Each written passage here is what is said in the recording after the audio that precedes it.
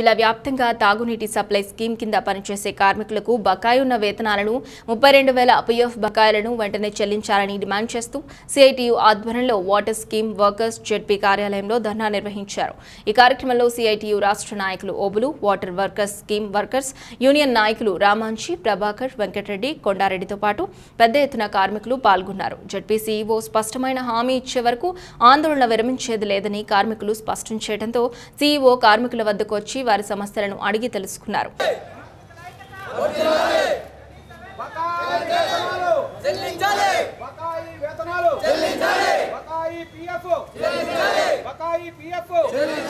కనీస వేతనం.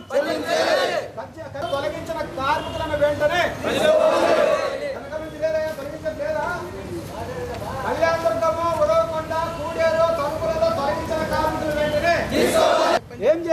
ఎన్నాళ్ళు పడుతుంది? అక్కడ నుంచి తెప్పించడానికి పడుతుంది? సంతకం కావడానికి పడుతుంది? ఎందుకు ఏముండదు పడుతుందంటాను నేను? ఎందుకు మీ దగ్గర? చెప్పలేదు మళ్ళీ ఏం చెప్పాలంటే ఏం చేస్తాం మేము? మాకు కావాలి మాకు వేతనం కావాలా? మాకు వేతనం మాకు ఎప్పుడు ఇస్తారో మీరు చెప్పండి. ఏ రోజు ఇస్తారో చెప్పండి. ఈ సందర్భంగా కార్మికులు ఎదుర్కొంటున్న సమస్యలను జడ్పీ సీఈఓకి తెలియజేశారు. అందుకు జడ్పీ సీఈఓ మాట్లాడుతూ ఆర్డబ్ల్యూఎస్ ఎస్ఈ కాంట్రాక్టర్లతో మాట్లాడి కార్మికుల సమస్యలను పరిష్కరిస్తానని తెలిపారు. కాదు చాలా విషయాలు చెప్పారు. ఇప్పుడు లోపం అనేది మాత్రం లేదు. కాకపోతే వీరు వచ్చినప్పుడు నేను చెప్పాను ఎస్సీ ఆర్డబ్ల్యూఎస్ని పిలిచి మీటింగ్ పెడతాం అనుకున్నాం. కాకపోతే అన్ఫార్చునేట్లీ మన జిల్లా పరిషత్లో పాజిటివ్ రావటం వలన seventy two hours office close చేస్తాం. ఆ తర్వాత రెండు రోజులు ఎస్సీ గారు కూడా విజయవాడ వెళ్ళడం జరిగింది. కాకపోతే మీకు సంబంధించింది మన జిల్లా పరిషత్ నుంచి రావాల్సిన అమౌంట్ ఏదైతే గ్రామ పంచాయతీ నుంచి పిఓ గారు ఇచ్చారో అది మనం సిఎఫ్ఎంఎస్ ద్వారా సంబంధించిన ఇంజనీర్లకి అడ్జస్ట్ చేయడానికి పెట్టడం జరిగింది. అది కూడా వీరు వచ్చి అడిగారు మీకు కూడా చాలా రోజుల నుంచి పెండెన్సీ ఉంది కాబట్టి అది గవర్నమెంట్లో కూడా రిక్వెస్ట్ చేస్తున్నాం. మన ప్రిన్సిపల్ సెక్రటరీ గారు కూడా దానికి యాక్సెప్ట్ చేశారు. అది అడ్జస్ట్ అయింది. సో అమౌంట్ మీకు వస్తుంది. ఆ పేమెంట్ వస్తుంది. ఎందుకంటే మీరు చేస్తే కార్మికులు మీరు అక్కడ చేస్తే తప్ప ఈ నీళ్ళు కానీ ఏది కానీ ప్రాథమికంగా మీరే చేస్తారు కాబట్టి మీకు ఇబ్బంది కలగకుండా చూడాల్సిన బాధ్యత అందరికీ ఉంది. ప్రభుత్వం నుంచి కూడా మాకు ఆ రకంగానే ఆదేశాలు ఉంటాయి. సో దానికి సంబంధించింది కూడా స్పష్టంగా మేము కండిషన్ కూడా పెడుతున్నాం దాంట్లో. ఇప్పుడు ఎస్సీ గారికి కూడా అదే ఇచ్చాను నేను.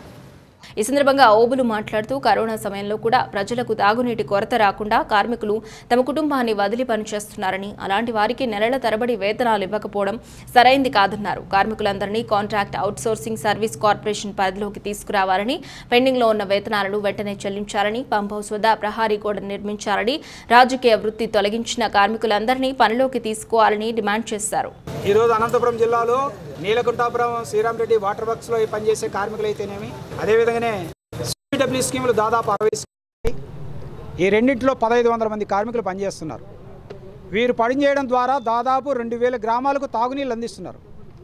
కరోనా ఉన్న ఈ పరిస్థితుల్లో కూడా వాళ్ళ ఫ్యామిలీలో పిల్లలు భార్య పిల్లలందరూ కూడా వద్దంటున్నా కూడా వాళ్ళు వద్దంటన్నా కూడా ఈరోజు కార్మికులు పనిచేస్తున్నారు. జీవితం కోసం పొట్టగడవడం కోసం. కానీ నాలుగు నెలలు ఐదు నెలలు రామగిరిలో పదహైదు నెలలు అదేవిధంగానే ఉరవకొండలో ఆరు నెలలు జీతాలు ఇవ్వకపోతే కూడేరులో ఆరు నెలలు జీతాలు ఇవ్వకపోతే ఏ రకంగా పనిచేస్తారు? అందుకనే జడ్పీ సీఈఓ ముందు మేము కూర్చొని చేస్తున్నాం. వెంటనే జీతాలు ఇవ్వాలి బకాయి జీతాలు ఇవ్వాలి. దాదాపు కా కళ్యాణదుర్గంలో ఆరు మంది అదేవిధంగానే తలుపుల్లో పదకొండు మందిని అదేవిధంగా కూడేరు దాంట్లో ఆరు మందిని తొలగించడం జరిగింది. అక్రమంగా తొలగించడం జరిగింది పన్నెండేళ్ళు సర్వీస్ కాబట్టి రాజకీయంగా వేధింపులు ఆపాలని తొలగించిన కార్మికులందరూ పనిలోకి తీసుకోవాలని ఏదైతే వేతన బకాయి ఉందో ఆరు నెలలు పది నెలలు పదహైదు నెలలు ఉందో ఆ జీతాల విషయం చెప్పేంత వరకు కూడా జెడ్పీ సీఈఓ ఆఫీస్ ముందు నుంచి మేము వెళ్ళేది లేదు. కడుపులో మంట ఉంది కార్మికులకు వాళ్ళ బాధ ఉంది. లేకపోతే కరోనా అనంతపురంలో ఇంతమంది వస్తారా కార్మికులు? రారు కదా. వాళ్ళ భార్య పిల్లలు పోయిరండి ఇప్పుడు పస్తులు ఉంటున్నాం సస్తే ఇట్లనే చద్దాం అట్లనే చద్దాం అంటున్నారు. అందుకే వస్తున్నారు కరోనా వచ్చి చచ్చిపోయినా పర్వాలే?